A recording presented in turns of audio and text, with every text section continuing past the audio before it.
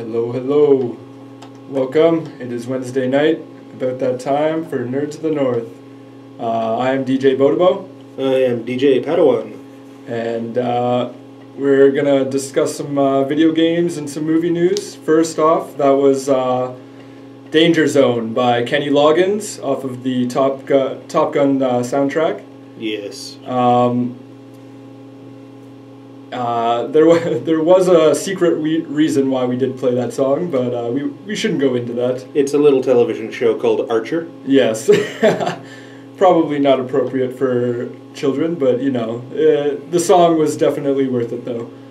Um, I'm gonna start off with some uh, video game news here. Coming up with uh, video game releases. Um, January 15th, which is today, uh, Assassin's Creed 3 Liberation HD um, was Was came- that the uh, PSP version? uh, originally it was uh, I believe it was a PSP or a Vita game. Okay. Um, and now they've ported it over to the 360, the PS3, and the PC. They've totally revamped it. Uh, new physics, new graphics, new sound. So, but the main thing about it was uh, apparently like it's a really it's a really good story and like somewhat essential to the whole Assassin's Creed storyline. Mm-hmm. So I guess they just decided to release it for all systems, which honestly I'm sure it's happened before, but like it's good to see that that you like a game maybe I don't I would imagine it was pretty popular for the handheld systems, but it's nice to see them ported over, especially for like if it was a totally independent story from Assassin's Creed but still fit in. I don't know, it's nice to see that. Um, as we mentioned last week, uh, January 21st is Dragon Ball Z: The Battle of Z, which is for the Vita, the PS3, and the 360. Yeah. Now I've had some experience playing this one on a, on the demos, and it's uh, it's not not as bad as I thought it could actually be. It's I like the group of four people fighting together because you get a lot of the combo and tag in moves that happen a lot in the show. Yeah. At the same time, it's. And maybe it's just because it's the demo. I'm not able to do what I want to do.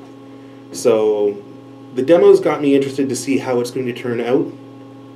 But I still think this game's going to be a rental to start before I pick it up. That's what I was just gonna say. I was like, it's it's very rare that I want to rent a game before I buy it. This I think is one of those times. I've been let down by too many Dragon Ball Z games. Yes, and this one's going to be a rental to start. Yeah. Um, another one that you're hyped about, uh, January 28th, is Tomb Raider Definitive Edition. Oh, yes. Have you seen Yes. the side by side footage? Yes, I just watched it before the show. Is that not insane? Yeah, it, it actually it's a different game. Like Yeah, it a is no longer the Tomb Raider game. It is a new Tomb Raider game. Yeah, made for next gen consoles. You can tell that with the graphics. Um, it looks amazing. The- like I might actually go and pick this up. I I haven't played a Tomb Raider game in years. Um, I think it was uh, well I played the first one for the 360, and it, it was kind of mixed. Like some people really loved it, some people didn't like it as much. Uh, I don't know. Like I was, I never, I was never really like a huge Tomb Raider nerd, so like I didn't really mind it. I liked it for what it was. hmm Um, on January, oh, this is another one for January 21st. Um, there's some Dead Rising DLC coming out called Operation Broken Eagle. Uh, since I own the game, uh, I didn't buy the season pass for the DLC. I don't really like doing that with a lot of games unless I know I'm going to put in a lot of hours. Um, this one, though, I, I might check out the first DLC and see what it's all about. I would imagine it's just a continuation of the storyline maybe some fun like free roaming stuff as well. Probably has more vehicles and weapons and such. hmm Um, and then on the 28th, uh, there's a new Call of Duty uh, expansion coming out. It's called Extinction. Um, I believe it's just a yeah. I'm not a Call of Duty player anymore, but I believe this one is not just a map pack. It's like a four-player co-op uh, mode. I don't know if this is their new like zombies mode or what it like whatever it is, but I haven't really looked into it. But it's coming out on the 28th. All you Call of Duty fans, get at it. Um, now into a little bit of uh, news. The first thing I seen uh, this week, uh, SimCity, which me and DJ Padawan here both own. And Had it since launch. Yeah, had it since launch. It's rough, rocky launch. Oh. Yes, that was not good. How Uh, many times did my continent have to get restarted? Yes, the, I was not pleased with the game when it fo- first launched. Uh, too much traffic, too much issues with the servers uh, within the first like month, and all the bugs in the game. I, I honestly didn't have too many issues with the bugs in the game until I got farther into my city and started realizing that stuff is not working properly at all, and I'm suffering, like my profits are suffering because of the, just the bugs. So I've played it a couple times recently. They've pretty much addressed all the issues. It can run smoothly. Like you're, it's much easier to make money than lose money in the game now. Oh yeah, I've played it recently, and it's uh, definitely a step up. Like But- a couple of steps up. Oh yeah, for sure. And then uh, EA has come out and said they said at the start there's going to be no offline mode. Uh, and then I'm sure right when they said that they knew they're going to have to start working on this. Uh, apparently, they the, it, it's taken six and a half months of working to make this offline mode happen. Uh, I think it's a good move on EA's part. Um, it's just too many people were complaining to EA about not being able to play one of like the most obviously one of their more popular games on the Origin like PC platform. Uh, you can't play it offline. You have to be signed into the internet to play this game, which obviously that works for MMOs. Like there's no other way to do it. But like when you're when it's feels like a single player game when you're in it, they tried to eliminate that by having your friends' cities like within range, like you can pretty much see them across the map. But I don't know, like I I prefer I would prefer playing by myself in a game like this. I don't know. Yeah, it's unless you and your friend are working side by side and you Yeah. know what you're doing. Yeah. Working, working by yourself is the best way because you're going to need all those different city plots to set up industrial zones, retail zones. Yeah.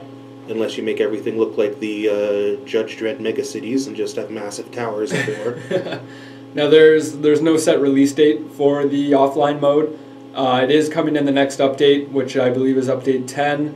Um, they, I would imagine it will be within the next few months. I would hope so, anyways, because by then it's been what? It's been a year since the game came out, roughly. Like I would imagine, maybe even a little bit more.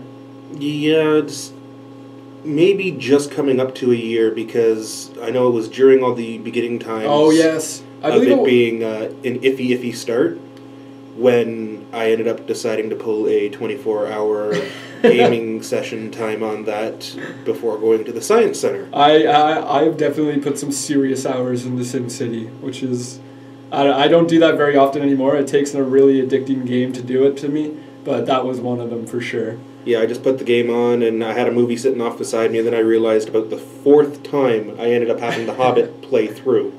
Like, oh, maybe I should go to bed. Look at the window. Is that the sun? Oh. Yeah. Uh, another piece of news: um, DayZ, which originally was a mod for Arma Two, um, which is just a regular army uh, first-person shooter. Uh, it is now a standalone game which you can get on Steam on the PC, and this is I don't know I don't know how many guys that that uh, makes like made this original uh, mod, but um, it's a slow process. It is still in alpha. Uh, it's like an alpha beta. You can buy it. I believe it's thirty nine ninety nine on Steam. Uh, but last week they announced in the first three weeks they sold eight hundred thousand copies, and now on the fourth week they've hit one million players. So for a game that's still in alpha, and obviously still had a lot of support from the mod. There was so many people playing the mod online when I used to play it. Um, that I find that pretty astounding to sell a million copy like that company has definitely made some serious cash at forty dollars a pop, a million times a million. Plus, it's probably just a handful of guys making the game. Uh, hopefully, they can hire on more guys to get the full game out sometime like soon because I, I don't even think they were planning to move out of alpha for almost a year from now. So and like obviously they're gonna go into beta and then release the full game when it's finally finished. Yeah. But basically, this is just a game with a massive, massive map, and it's basically a survival game. Like there's not there's not hordes of zombies coming for you, but you have to pick up supplies and weapons and clothes, and you constantly have to eat and drink and give yourself medicine when you're sick. Um, it is really fun to play with a group of players. I was playing with five of my friends online on the same server. It I, I, I had a blast. It was really fun. Uh, it's it's not the type of game I would want to play by myself because that's how I played the original mod, and I just constantly got killed all over the place after finding supplies and such, and it just it doesn't hit well when you get when you die with a whole bunch of supplies that you needed. Yeah, it seems almost like the Ultima Online issue, Yeah, where it was the case of, well, why bother going into the dungeon and taking all the uh, damage from the monsters and everything? We'll just camp outside the dungeon and hit the other adventuring parties as they come out in their weakened state. Yeah. Um, another big number announcement coming from Steam this time, the PC uh, platform where you buy all your games.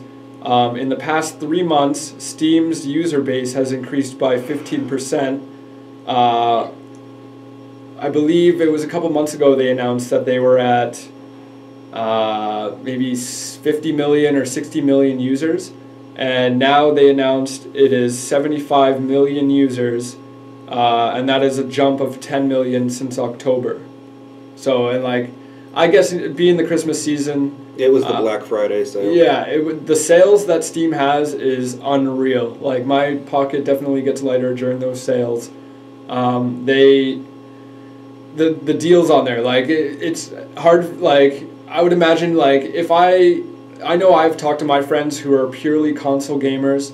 I've showed them Steam and to get a gaming PC now is slowly getting easier and easier, like cheaper and cheaper. Obviously, the higher end PCs are still going up in price, up in price, but the lower end laptops that you can get, you can play a lot of uh, the low end kind of games on Steam. And like that's what I was stuck doing with my old laptop. I was just playing the simple like 5-year-old games like that were on Steam for really really cheap. But like now I haven't ran into a game that I can't play on my PC. Like I, I thought Elder Scrolls Online would give it a test. I honestly thought it on high, especially because like when we ran the game, it was already on high settings. Yeah, immediately that beta test immediately kicked up into high, but uh, not going to say too much about it. Yeah, All that we will, all that I will say about uh, that Elder Scrolls Online beta is April can't come soon enough for yes, PC yes, and consoles. You got to wait till June, but it's worth the wait. Head out to your local store, go and hit up Microplay Newmarket, and get your pre-orders in now. yeah. I'm I'm probably gonna head towards the PC platform first, but I know all my friends are gonna be buying this on the console, so I'm probably gonna end up playing uh, paying for both. Yeah, nobody else has the console that I have, so I'm guessing I'm gonna get it on PC. Yeah. Uh, another piece, and Steam also announced their uh, sales sales figures by region for 2013. Um, so the total sales, uh, they made like a pie chart online. Uh, 41% of their sales for 2013 was in North America, 40% was in Western Europe, and then all the rest of the regions of the world, uh, including Russia, was 5% or less. So it, that kind of shows you, like, I, I thought, uh, I guess Western Europe does have a lot of, like, gaming studios and a lot of game support, but I, I actually thought it would be more divided than this. Um, especially Russia and their love for sim games, no matter what it is, because there's tons of games on Steam where it's just like bus bus simulator, train simulator, uh, construction simulator. I don't know what it is, but those Ru- those Russians love those simulator games. Simulator, simulator. Yeah, it's a, it's a life simulator. Um, another uh, piece of good news here that we m- talked about the bad news uh, a couple weeks ago. Uh, Battlefield 4 patches are finally rolling out for all platforms. Today, the Xbox One, I believe, got a patch, and yesterday or the day before, the PS3 and the PS4 got their patches. Uh, I believe the PC patch is out as well. If not, it is soon incoming. Uh, that's good to hear. Hopefully, that kind of fixes a lot of the issues. We'll have to see. Um, another big rumor here. Well, not really that big. Uh, Diablo 3 has been announced for the PS4, which I believe they announced at E3. I believe when they announced the console, they were like, "We get Diablo 3." Like I'm pretty Not- sure, or the PS4, sure. the PS4. Like I don't know if I said PS3 there. I know. I well, I already own it for the Yeah. PlayStation Three. Yeah. So So I if guess it's, if it's coming out for PlayStation Four. Let's, I don't need three it- different consoles to I play know one game. that's the thing. Like, I, it kind of makes sense, but kind of doesn't. Uh, but apparently, and this comes from Canada. Like, this is this is making like news around like everywhere. But uh, apparently, this is these usually come true when it comes from these sources. Like, they just they messed up. Someone in the retail section messed up. But apparently, the Diablo three is coming to the Xbox One, uh, and this was via a flyer or the online flyer from Best Buy and Future Shop in Canada. So I've I've seen this done many times where Best Buy and Future Shop can't keep their lips shut and they leak something that was not supposed to be leaked. So Yeah, I saw this rumor on IGN this morning, and I just didn't. I didn't bother clicking on it because I know usually I own the collector's edition. Why? Yeah. What else do I need? I'm just saying I don't know like I, I I still have it for a PC. I think that's fine enough for me. I know what you're saying. Um, and a small little thing that I thought I'd mention uh, Miyazaki's uh, Spirited Away has been remade entirely in Minecraft. So all the set, like the main set pieces and like all the backgrounds and stuff, I was actually looking at the photos and like for Minecraft, like this is really good. Like if you've ever seen Spirited Away and want to see somebody's uh, rendition of that set, it actually is really good. They have a side by side comparison. Uh, it looks amazing. Like I, I never thought because I've seen people do like characters and like certain sets on Minecraft before, but like nothing like this. Like Mhm. it is bang on. Um, I think that's about it for the uh, for the gaming news today. Do you have anything gaming related? We've hit. That's the end of your gaming stuff. Yeah. Hmm. Only other thing I can think of for gaming is that uh, the board game Risk Legacy is amazing. okay, we can talk about that. Like you've been you've been chatting up my ear uh, about uh, Risk, and uh honestly, like I, I haven't played Risk board games since like I was a kid. Yes. But- well, you remember the uh, original versions of Risk. Yeah, The board was all, the one thing that never changed was the board. yeah, In Risk Legacy, it's designed to be played 15 times, and the winner signs the board each and every time they win. Now, every time you play the game, the board changes. yes, You can put down capital cities, other cities. People can put uh, scars on your territories. I have, in one of my uh, games there, I had three of my sections covered in a biohazard, so I kept losing guys, and I had to constantly put more guys in there just to make sure I could still hold the spot. But uh, it's a great game. I'm really happy that uh, a friend of mine picked it up for us to play, and uh, I am currently the board the board leader. yeah. So challenges have been made, and they are coming after me. Yeah, it's gonna be. It'll be really funny. Like for someone other than the owner of the game, the one who originally purchased it, or even got it as a gift. Like even No, if he he purchased it. okay, I was gonna say like if you got it as a gift, I would still be mad if I wasn't the one to like. He has like, yet to yeah, sign the board. He is yet to be on the board, so I, I find that pretty funny. Like it's I would be mad. Like I would be deeply mad about that. Yeah. But uh, yeah, I believe you've already said that the next one is on you. Yes, I will. I'm purchasing the next board once we finish this one. I am purchasing the next one, so that will continue on. But uh, yeah, it's uh, we're looking at getting our games in more often now. We've already been playing for over a year, and we've only gotten five games in. Yeah, It's, what can you do when schedules don't match? Eh? yeah, I know. That's pretty much it that I have for uh, video game news. So um, I'll take a moment here. I can talk quickly about uh, Comic Con Toronto. Oh yes.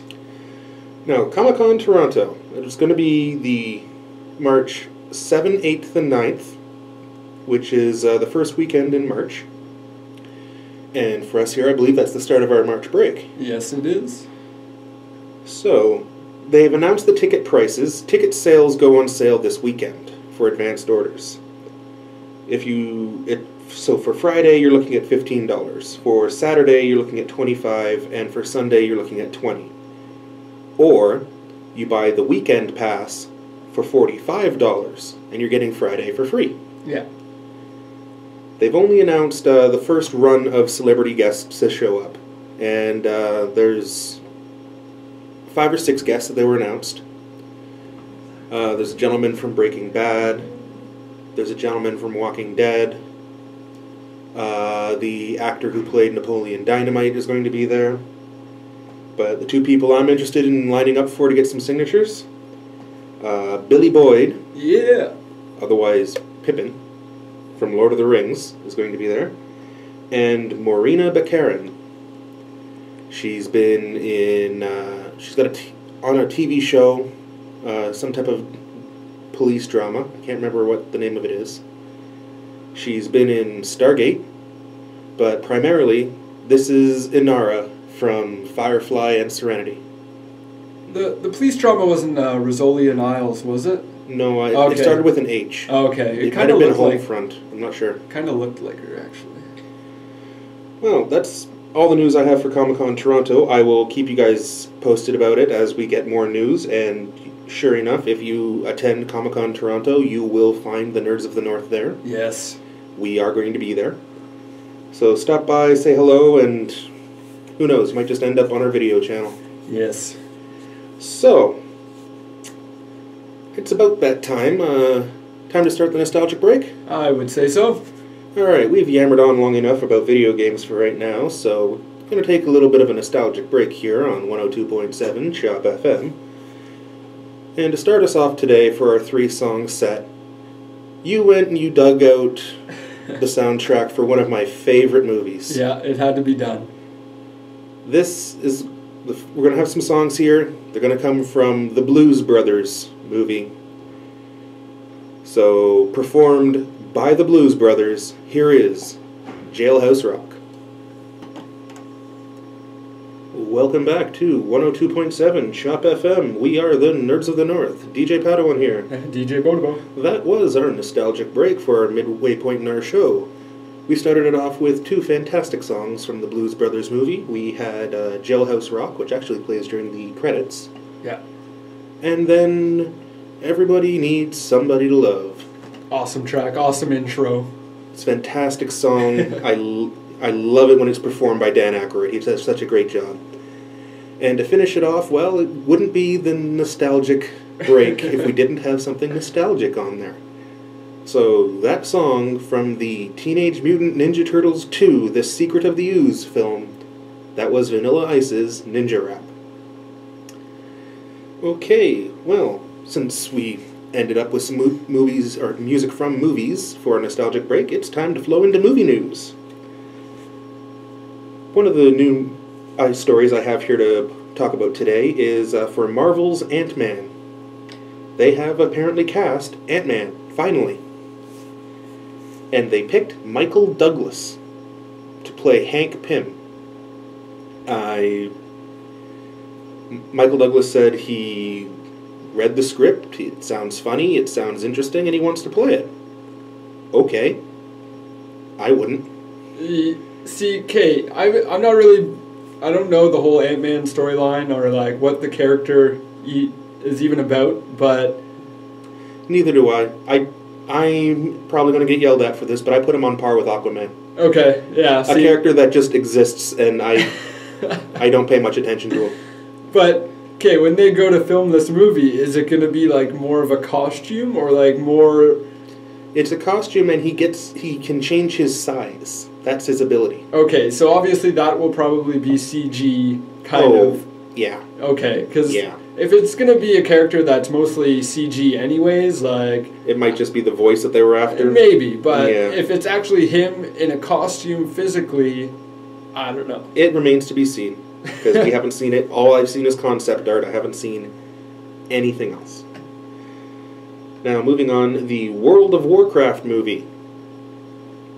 Still waiting on Halo. Yeah, we need a Halo, please. The World of Warcraft movie is to have a very human story at its heart. and that's very strange considering from the script that's been put out there, humans ha- are the least featured race in the film. See, I I could understand starting off with humans if it's like purely from like the alliance city within World of Warcraft. Like if you're starting off in the main city for the alliance in the game, Mhm. like starting out with humans and telling their story first and then going into the rest of the world and the rest of the races and all that. Like if you're starting in the main city, I would hope that they're gonna like you're gonna see other races and stuff like that within the city. But Well, here's hoping. Uh, But it's it's the World of Warcraft movie. I I don't know, man. Like, see, something fantastic needs to happen to get my interest to even yeah. spark. Well, man, to for somebody to pitch this movie idea, I would I would have to imagine they came up with a pretty good storyline. I would hope. I would hope so. And you need to have a decent story. In fact, you know what? You want to have a story for it to pull from? Look into the lore. Yeah, Pull something straight out of the lore and adapt it. yeah. That's the way you're going to get fans in seats. There's a lot of good stuff uh, that even like fans have made about certain characters. hmm Now, I remember a couple weeks back uh, we mentioned that uh, the Naked Gun film would be getting a reboot. Yeah, and it's just been released that it's going to be more of a sequel than a remake. Good. Enough with this remakes. yeah. We've already talked about this. No more remakes. no more remakes. Come up with original ideas, people, please. But uh, who are they going to get to match Leslie Nielsen? I don't know. I don't know. One of the scripts was talking about, uh, in the article that I read, the guy working on the script was talking about having something like 20 jokes per page. 20 or 30 jokes per script page. That's that's pretty Which- crazy. That's exactly Naked Gun. Yeah. That's exactly what those movies were like, but how are you going to pull that off? I don't know. Yeah. Have you heard of the Jurassic World movie? Uh, rings a bell. This is going to be the fourth installment in the Jurassic Park franchise, Okay. and they're calling it Jurassic World.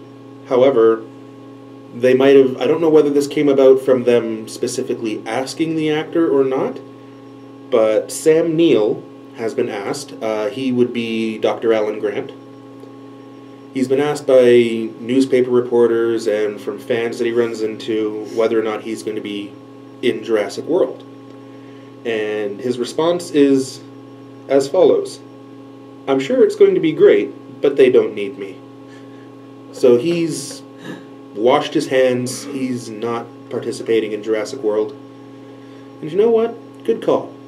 Because Jurassic Park 3 was a stretch to have his character brought back in. Yeah. For- It, it was per- Jurassic 1 was perfect. Lost World made sense because of where it went. Yeah.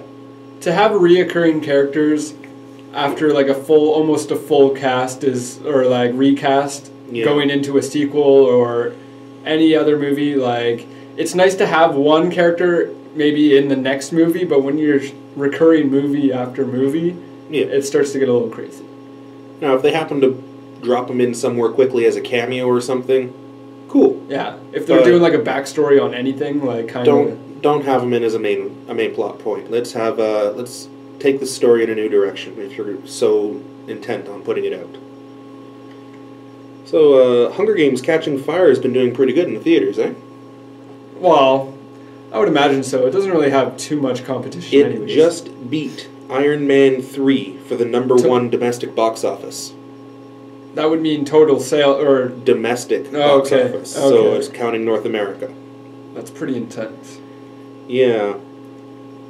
Because Iron Man 3 held the record with 409 million okay, domestic. okay, And just this week, Hunger Games Catching Fire raked in one, uh, 409.4 yeah. million. So they just edged it out.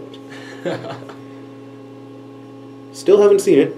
Neither have I. Still haven't seen the first one. No, I believe the first one I is got some catching up to do. The first one is on Netflix. I've been, Ah, forget Netflix. I'll put on my I- Blu-ray. I've scanned through the movie and I, I don't know, man. Like I guess it's one of those movies you really have to pay attention. but while scanning through the movie, I was just like, I don't see it. I don't understand. I don't know. somebody's talking nonsense about our airwaves. Somebody is talking nonsense about our airwaves out there right now. Anywho, more movie news. I don't know how 20th Century Fox managed this. And see if I can say it the way it was said in the article. They I don't know how much mana they had to tap. I don't know whether it was one color or all five. But 20th Century Fox has spent that mana needed and has summoned the rights for a Magic the Gathering film. Uh, I I read an article. I seen the article on IGN, or actually it was Kotaku, Mm-hmm. and the company who got the rights apparently is making they they are able to make a series of movies. It's not just one movie. Okay. That's what they were saying. I don't know if that's full like, but whoever obtained those rights has the right to, and I believe they've came out and said that they're doing a I'm series. pretty much sure it's going to be a five movie series because Yeah. after that there's no there's no more colors of mana yeah, unless you want to go into artifacts. yeah. I think that makes more sense Yeah. than one movie. For those of you out there who don't know, Magic the Gathering is a collectible card game that's been out since the early 90s yeah, and it exploded in popularity. Now that uh, well, now that there's digital versions available, there's digital versions of it, there's every single month there's some pro tour tournament somewhere, Yeah, along with all the um, hobby stores, the comic book stores that used to have tables set up for their Warhammer players to come in and play. Those tables now no longer exist because there's always people sitting there playing cards, yeah. And it's always magic. Well, I, I man, I remember growing up. Uh, maybe it was when it was when Pokemon first came out, the Pokemon card game. Yes. Uh, I believe it was what grade grade four, grade five, maybe somewhere around there. Mhm. Uh, we all started collecting Pokemon, and then I like my Pokemon digital, thank you. yeah, so do I now. Uh, I, I had Pokemon cards. I have to admit it. Um, As did I. But when Yu-Gi-Oh came out, I never got it. I never bought into Yu-Gi-Oh. And then finally, when we got into like grade six, grade seven, was when Magic became cool. Honestly, I didn't make the switch then either. I just like cards were just out of my league by that point. Like I just didn't touch them until even like until you bought me my first Magic deck. So like, and then even then, like I really did enjoy it. And then all you guys just, or no, I wouldn't say you, but like everybody pretty much decided to stop playing Magic. So I don't I know. stopped playing because it stopped being fun for me. Yeah, I still have a deck. I'll play every now and then. But I've got other stuff that I like to do. I believe that's a computer fan. Actually, I don't know. Lovely. Whatever that sound is coming from. Anyways, moving on here. Uh, moving into Blu ray releases for this week.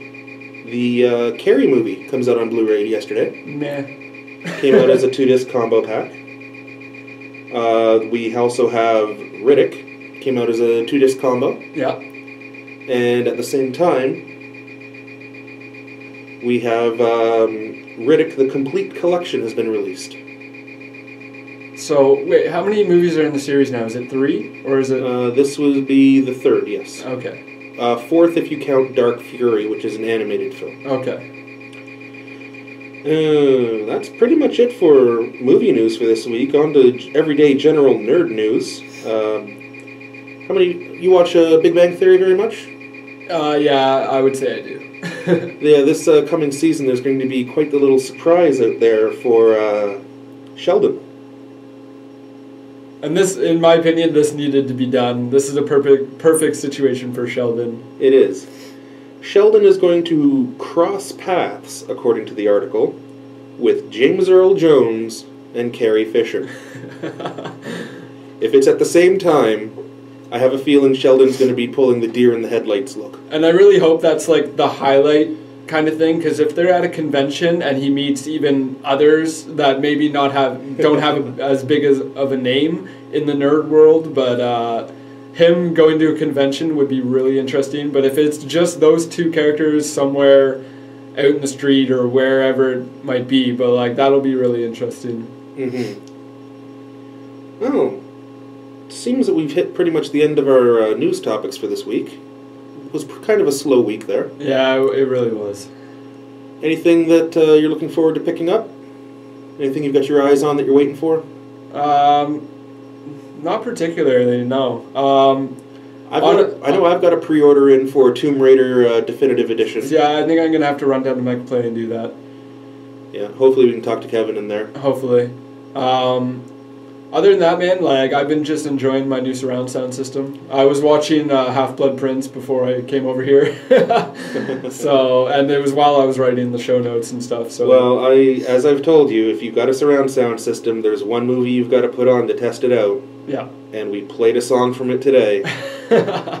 You've got to go and put on Top Gun. Yeah, that I I'm gonna have to find that. I might have to da- actually. I really wish it was on Netflix.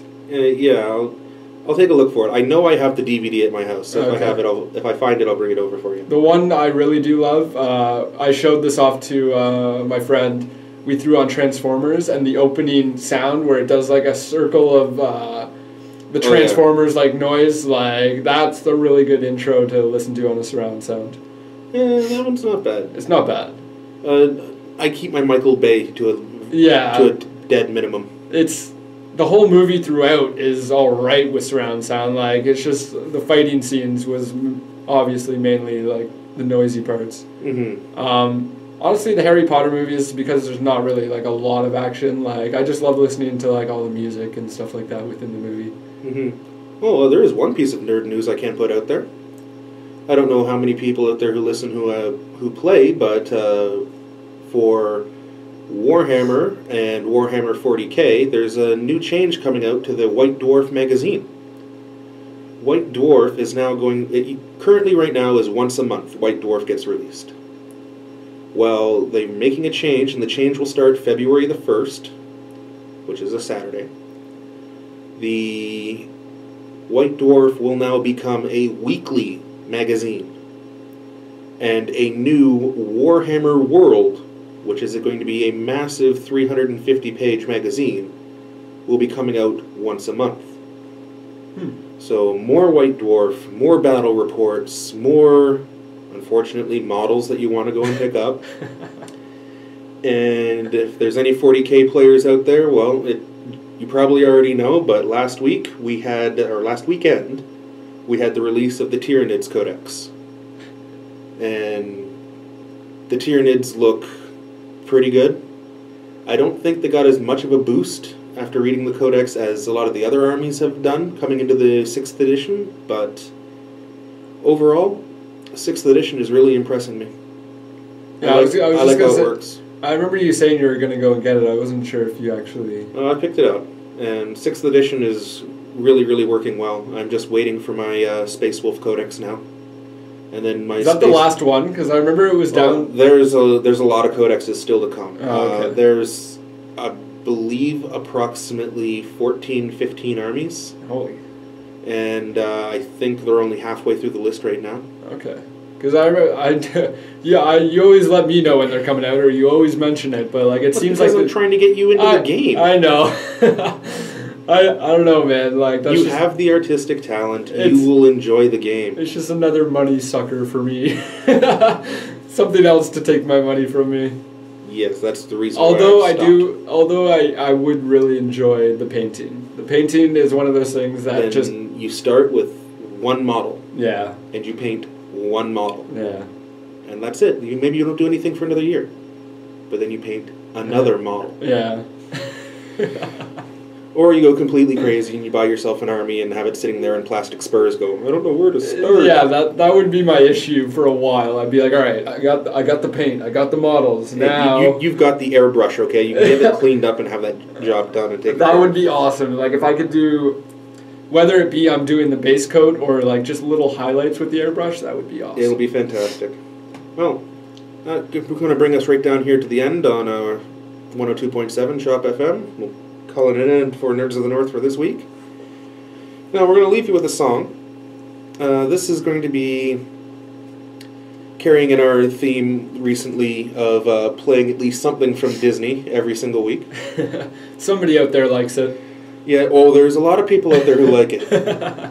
Because uh, I know for a fact, due to what Cartania just gave his sister earlier on in the week, they are going to freak out over anything Disney that's played. Yeah, but this this isn't a official Disney, but this is our favorite remix. Uh, Disney asked them to put this on to, Really? to record this. This is on a Disney official album, my no, friend. no.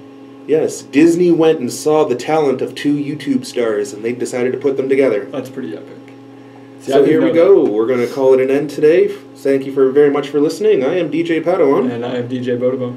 Please stay tuned to catch you again next week on 102.7 CHOP FM for Nerds of the North. We're going to leave you with Peter Hollens and Alex G singing the Disney Classics medley.